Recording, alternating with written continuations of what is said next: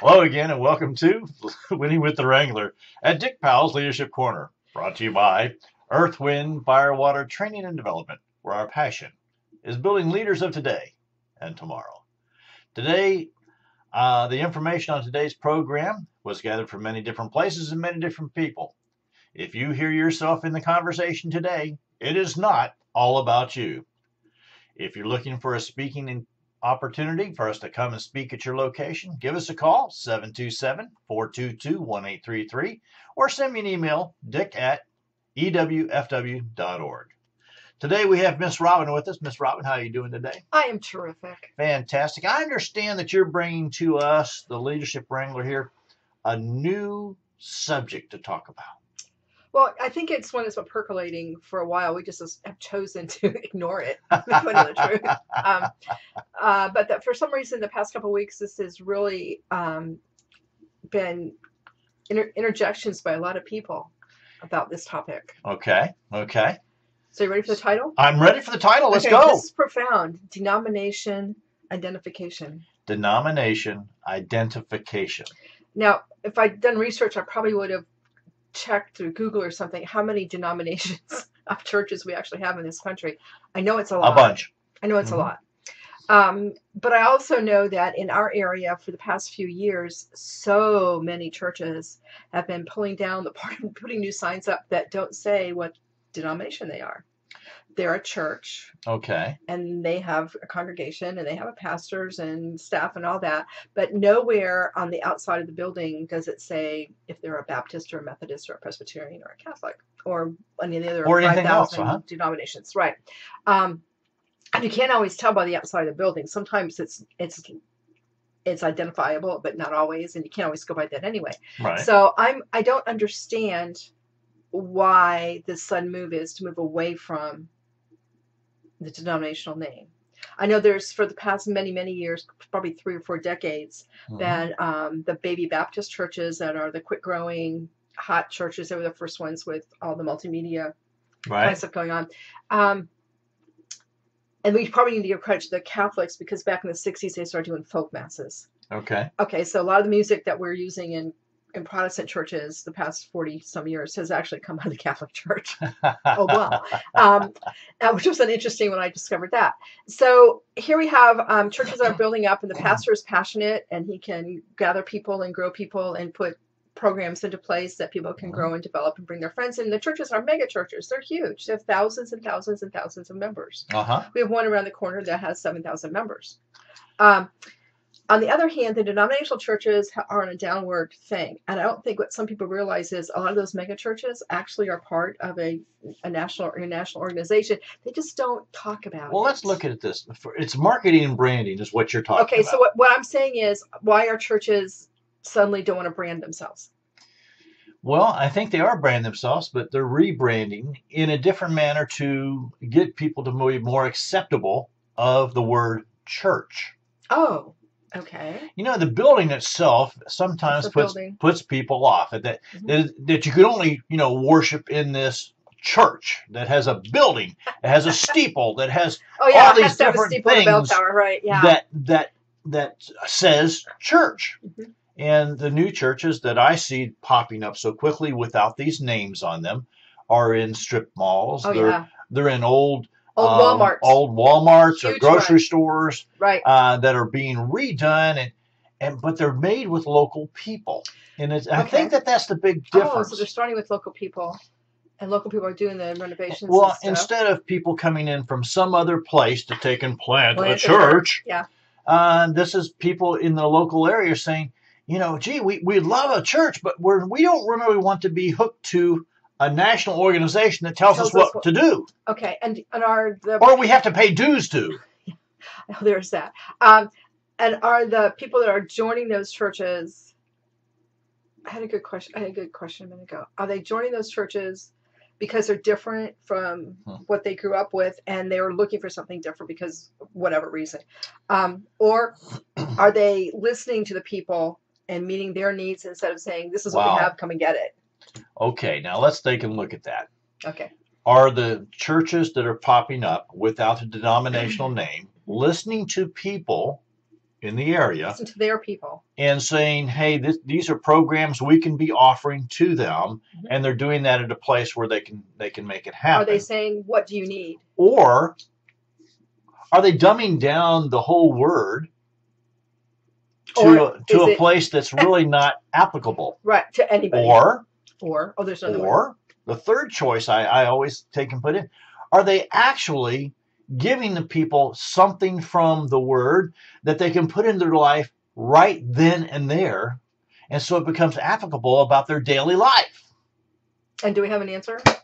well if know. you're going to ask you know dick powell he's going to tell you that it's it's they're listening to people saying look I, need something i can put into my life right now not theoretical or or anything else right. I, I need it right now. I, I need to know how to handle money. I need to know how to handle relationships. I, I, I need to My know how, how to take and handle my children. I, Right. I, I, I need these things. We And, need all these things. and because they're wanting in the non denominational churches, in my view, um, are, are providing those, right. I think that's a huge piece to think about.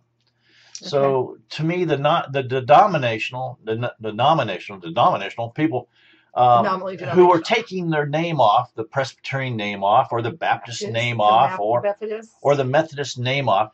I love the Methodists because they do it in a really great way. They leave their symbol so you know what it means, but they take the name Methodist off. I I, I think they're pretty smart. Um, and we are hearing this, like I said, over the past couple of weeks from people that were just running into it, you know, events and things. they're asking And- the question. Yeah, they're saying, I don't know what to think. What what happens once you take the the name, whether you take the logo down or not? When you Mhm. take the name down, what does that mean? Um, and things are changing. I'm not sure why or where the changes are coming from, hmm which is one of the things we run into in our in our area. A couple of different people have told us, you know, specifically uh, that they took the name down, but then everything changed. Well, the denominations, um, they have they have a large organization, Right. and it's a large organization. They have to kind of like pay dues. It's a per head capita tax, Yeah, per capita. and in my world, it's a tax. Okay, I I understand that there's going to be some church tax. church leaders are going to take Yeah. and come after me, but the the thing is, it's still a per capita that Mm-hmm. you're paying to the the great organization. mother church. Um, Who is using it to operate the organization? and, and I understand that. Yeah, And the I need, the understand need, that. the need. Yeah, I do believe, though, that original churches were started in homes. They were started in small groups, and and the- barns. The, pastors who came up uh, felt they really had a calling, and and no, they didn't have a lot of education. You know, they did the best they could with the knowledge they had. They read the I Bible, read the Bible. and and and they and they did their best to put forth. Mhm. Okay. Now I believe we're so overeducated and so overly indulged into it that the normal people sitting in the pews, I, I don't believe that they really can grasp the do day to day things that is trying to be put across. The other part is, as I see over and over, that as we work with other churches, that leadership within the churches do not understand what their roles are, and that's normally because the pastor is looked at as the The ultimate head. ultimate leader, Yeah. which they are not. The people are. Right. Wow, what a thought! We've we've talked before about it. Should not be the pastor's job to make sure the bathrooms get cleaned, lights get turned off, and the doors get locked. Um, that should be another group of people within the congregation's job to have some responsibilities, and not everything goes back to the pastor. In the non-denominational churches, how how how do they choose those pastors? I have no idea. Do you Well, they're usually someone who comes up and says, "I want to be a pastor," be a and pastor? and and and they're and they're able to build a flock. They're able to build well, a they're group. gather the people that can gather people and hold them. The second part about that is there are people who can build a team, and the Yes. team actually gathers the people. The Right. pastor really doesn't. It's that team who who says, "Look, this is a good thing to do, and this is a good place to be, and and we're we're going to offer this opportunity." Right, because face it, when you walk into a, a church for the first time for worship Mhm. service, you get a feel, um, body Wow. language, the feel, the way people look, the way they dress, the way they interact, if they interact, um, all those kinds of things um, affect the way you feel about that and whether you go back or not. Okay, um, so let's take a look at some churches that we know of that we've actually visited. Okay, Um, There was one down south that we went to, and and it was interesting how we, as we walked in, there was a fireplace there on the right hand side. It kind of felt warm and cozy. Yeah, there were- they had replaced, in essence, the narthex, where Mhm. people the yeah, gathering the gathering place before you go in or when you come out or whatever. Um, the chit chat plays, however you, you do it. Um, they they had sort of altered that. So there was a visitor's desk on one side, but the rest looked like a living room or a family room, And and you could hang out there, and it was it, It was, was very of a- welcoming. was kind It's of a neat place to go and hang out, grab a cup of coffee, and talk to other people, and kind Right. of share things and and move along. I felt very comfortable. But when I walked through the doors into the chapel, Yeah. um, it was an entirely different feeling. Different it was feeling. very cold. It was Mhm. very uninviting. And, and the people were sitting in places that looked like they'd been sitting for a long time, just so you know. Um. So it was kind of, it was kind of this this real dichotomy. Not, not only that, but being a visitor to a new church, you, you want to watch which pew you sit in because you don't want to sit in somebody's pew. Yeah, um, you, yeah, you you don't want- say, it's okay, somebody's I sit pew. here. Is someone's regular spot? Are you saving it? Well, you need to be kind of open to that. Mhm. Uh, but it's always interesting to go into a different, and that's been my our life when we vi- visit had you know been and we, we visited many reasons. different churches. Um, Um, that it's very it's very different. one of the other churches that is a denominational has a big sign out front and everything like that and we walked into that um, no covered over overwear so you can drop people off stay dry Oh yeah, uh, the no, doors that's such a the doors are interesting and the, every window is dirty um, bathrooms aren't real clean I know those are terrible things. You think Dick Powell's really nut nutty here, but but those know, are things that I'll be honest with you it matters. matters. So when you go to a real structured place and you find unstructure, it's kind of a strange weird. It doesn't track. So that's what I'm saying is that, and then Robin, I think that's really why people start taking those names off. They take off the expectations. Of whatever someone Of grew up what- with 40, of 50, what 60 you grew years up with. ago. Okay. Okay. like that. So you remove the expectation of what you should find when you walk mm-hmm. through those doors. Whether it's a strip store or or it's an old grocery store Yeah. or what. a mega store, yeah. you know, the, the, the mega, mega one at the gro- grocery store, I have to tell you, I, I was impressed. Oh, they had a coffee bar outside. I was really impressed on the place. level with Starbucks. Not only that, they, they, come on in.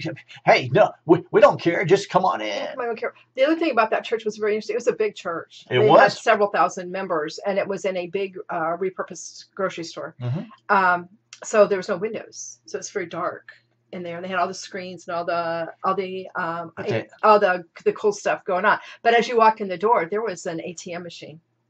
It was an ATM This is machine. It pretty huge, easy to give. Because think about it. Um, They, they didn't church, pass the plate, by the way. No, they don't classify. In our church, when we had about 1,500 members, we had a full time bookkeeper because it took a full time bookkeeper 40 hours a week to handle our, our bank accounts and our, our offerings and our expenses, everything else. Okay, so this is a seven, 8,000 member church. Mine had 10.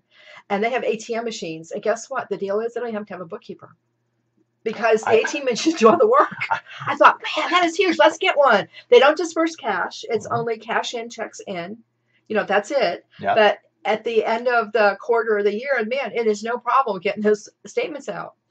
I'm like, wow, this is profound. How much does an ATM machine cost? How much could that cost? I don't know, but it was, well worth their while. it was such an interesting place. Phenomenal. You don't have to stop in the middle of worship to pass the plate. What I really enjoyed though is you walked in. I was watching other people had children. Okay. And, and as the children came in, there was this huge children's area, divided up by ages, of course, but the things that they had there available that related to church teaching. Okay. In other words, there were some games, there were some opportunities, but they all had the message going with it. Much different than the other places that I'd kind of been, I would call a little bit stodgy.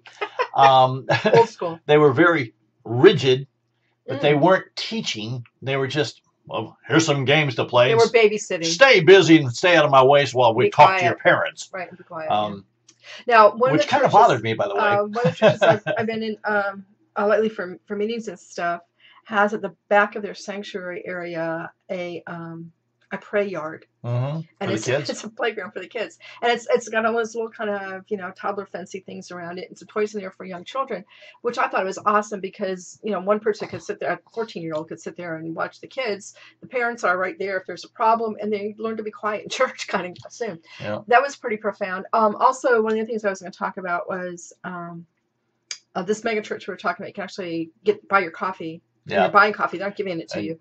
Buy your coffee Take and in. take it in with you. It's fine because it's all cement floors and who cares. Um, but the um, other part, part is there's another church that has a diminishing congregation. It's pulled out back five, six, eight rows Oh. of pews and put in like pub tables, two different heights.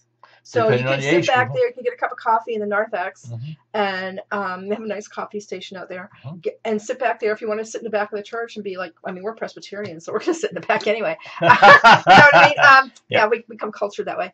Um, but to sit in the back of the church and and just be part of the congregation and enjoy your I, coffee. I have to tell you that I really enjoyed this pastor who did this. The, the took the because no one sat in the back pews anyhow. He removed them, but he made them at a layered situation. So there was the back layer was higher, then it came down, and Right. then then came down to the where the people were sitting in the pew pews. level, yeah. And so it kind of gave this different level, and It it was was like being in an auditorium. it was it was just such a neat feeling. Mhm. Um, I was there to kind of watch and listen to his to his uh, sermon, and that was kind of my job for the day. And so I was sitting in the back having a cup of coffee, and listening to different people around me, um, how they responded to that situation, Well, the other part and of that it was just fantastic. the part that was most people were sitting in the back because we were there for our, worship at a meeting. Mhm. Uh, we're sitting in the back were members of the church who would not have even been in that room with us at that time, but they were kind of in between their their, Mhm. their volunteer job for, for the day, and they came back and were very open with talking about you about how wonderful it was and what a great idea, and they didn't think it was going to fly. It was kind of weird to begin with, but it was it was again welcome. Come on in, have a cup of coffee, and we'll sit back here if you have questions during the service for a visitor. That's awesome. it was just a neat thing. So, Um, and that's why when when I looked at this, and this was a church we had been working with for a couple years. Oh, yeah, we're so one of our know. clients. Um, and and they actually took some of the suggestions that we were giving them, and they've seen their church start to grow now. And which is unusual. Robert, and I. Robert and I do not have all the answers, just so you know. We just okay? don't, we can we can ask you the we, we just kind of ask good questions and Mhm. and trying to, to steer a little bit. The neat part about this was is their congregation was made up of mainly people our age or older, and now it's starting to become our age and younger, yeah, they had um, no youth program at all and now they do. because they didn't have. Only time they had children in church was if they came with their grandparents.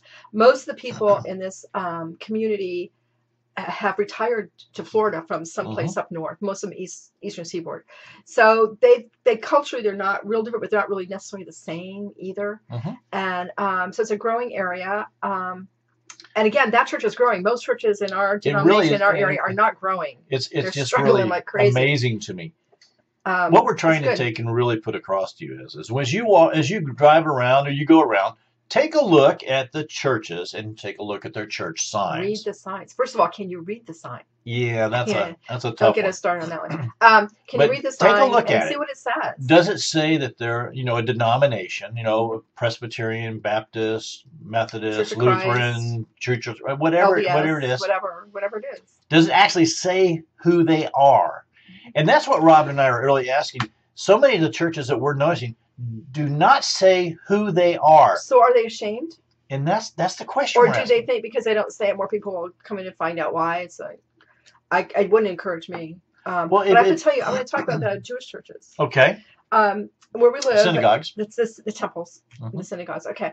Um, where we live, there are two on one of the um, semi-busy Mm-hmm. north-south routes through our county, and they're they're not real close together, but not real far apart They're either. not far And apart. the difference is one is reformed and one is more traditional. Mhm.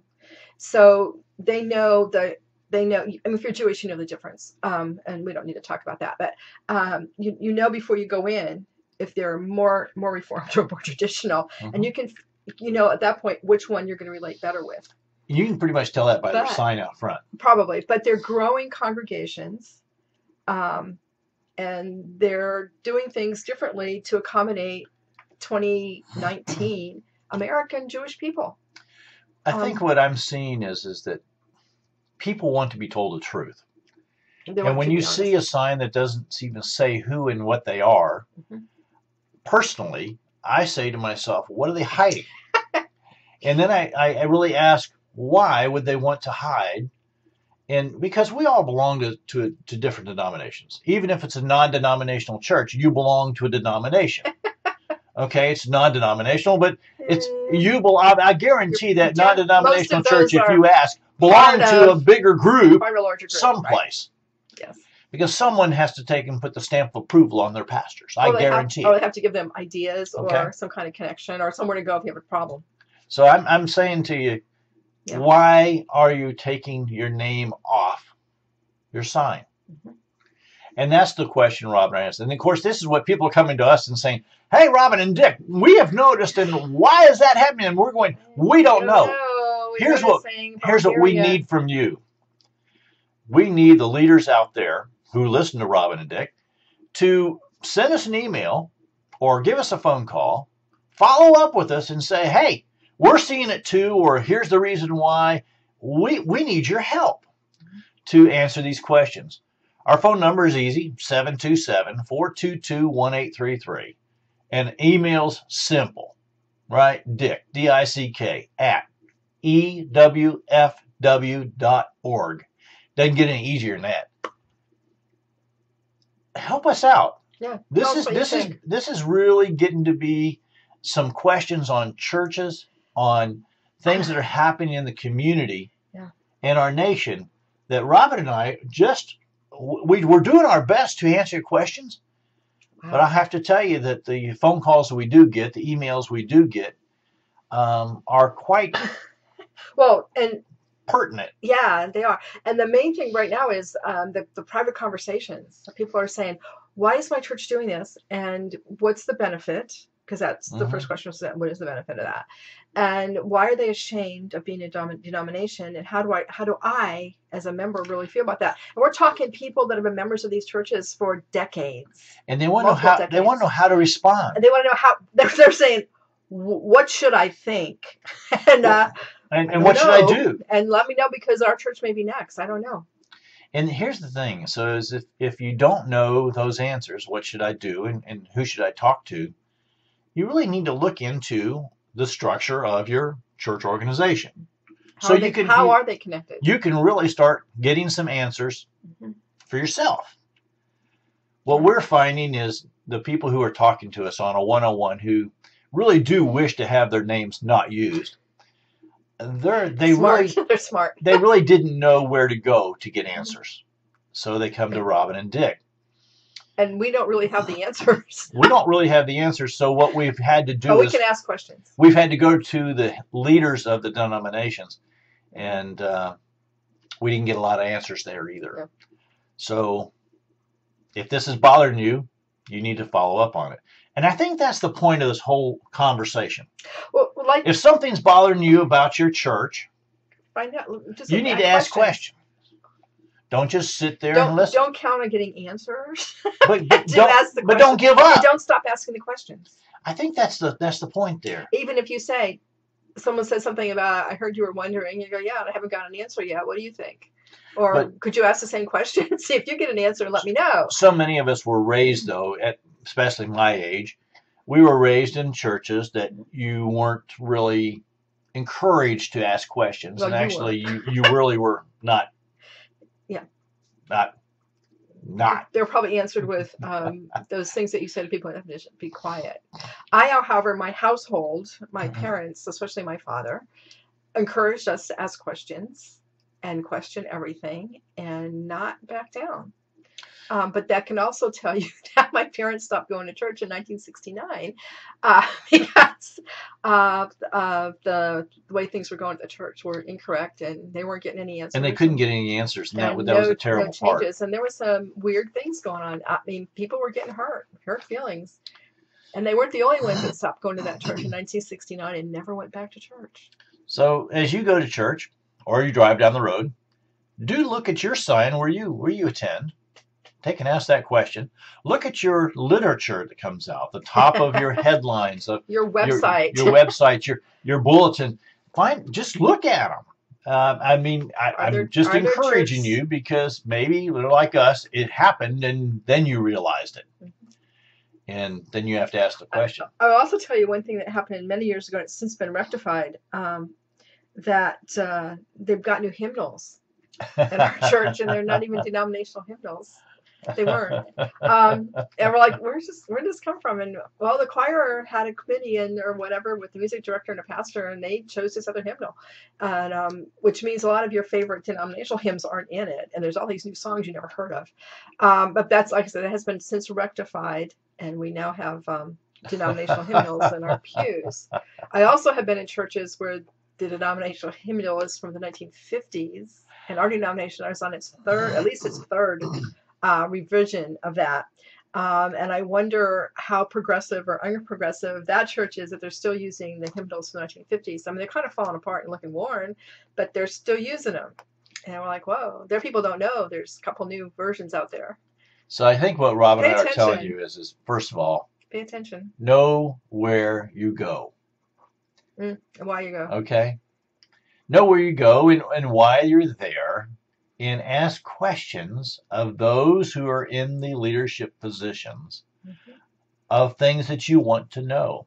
And if they are not able to give you answers, keep going up the ladder until you find out the answer. And then I want to do encourage you to do just one more thing. I want you to share that answer with people around you. Because I guarantee you're not the only one asking that question. I had a pastor say to me the other day, You're the only one who ever asked questions of me. And I said, Well, no, they're just not real comfortable to come and talk to you. Give me their names. Oh, I yeah, said, sure. I said, I'm not going to give you their names. That, that that would be, you know, giving up. That's terrible. Well, the other part of that is we had a pastor several years ago who um, we asked him some questions one time, and uh, he gave us a funny look and didn't answer the question. But a couple of Sundays later, we got an answer from the pulpit. Oh yeah. Uh, he did not use names, but after one of those um, sections of the sermon, um, the people we sat with in the area after said, "Oh my goodness, I asked him that question a couple weeks ago, and that's how he answered it." And I went, "I asked him the same question." I'm so embarrassed. So maybe we shouldn't be embarrassed, but um, his answer was not was not one we liked. But that but at least it was an answer. but it was an answer, and again, it, did, it was very public and came Yeah. from the pulpit. Didn't agree with it, but So at, th- at that point, we really weren't sure how many people had asked him the same question. Yeah. see, and that's what I'm saying. There's always going to be someone who has that same question that you do. Yeah. Don't be afraid to to keep on moving it up. And you might want to find out if there's people like that who who has the better wordsmithing and can ask the Ah. question better. Because I'm not always the best one with how to phrase the question. so I've come to the point at this point in my life where occasionally when I want a question phrased, I say, Mm. "Does this read okay, or is there something we can do better?" and and people And know me, I'm. I'm pretty darn direct. So Right. uh, Right. if you don't want an answer, don't ask me a question And that's also a good leadership skill because that way you get more people on your side. yeah, Just saying. yeah, yeah. Yeah.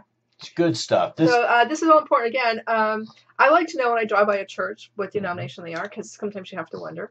Um, it's just interesting to know, uh, and I don't, and I'm, and I'm not really, I don't know how I feel about removing your your logo from the thing or not admitting on the public sign what denomination you are.